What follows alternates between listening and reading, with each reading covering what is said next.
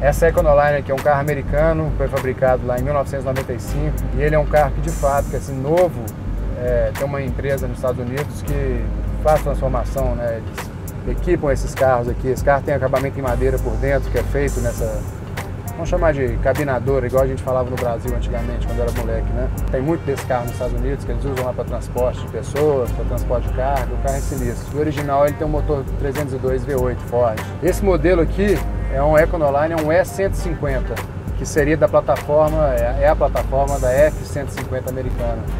Ele tem um, um formato modificado, né? Eles encurtam a frente para ganhar espaço aqui dentro, o carro parece ser bem maior. Então, o carro está com 6 cilindros, F250, diesel, vai ficar um canhão sinistro para a gente rebocar carro na carreta, porque tem carro grande, cabe gente pra caralho aqui. Está com 7 lugares, com a opção de colocar um sofá-cama que dá mais duas pessoas, então fica com 9, mas esse sofá-cama a gente tira ele. A gente está montando o som dela, fazendo a montagem do, fazendo um som campeão aqui pra gente viajar com a família e assistir um filme com som de qualidade, você escutar uma música com som de qualidade. Esse carro aqui é um carro pra família que provavelmente não sai da família nunca mais. Carro pra andar, um sonho de consumo do meu pai mesmo. Pô, fiz a pintura, muita gente acompanhou, nós vamos fazer um vídeo mostrando a pintura desse carro também.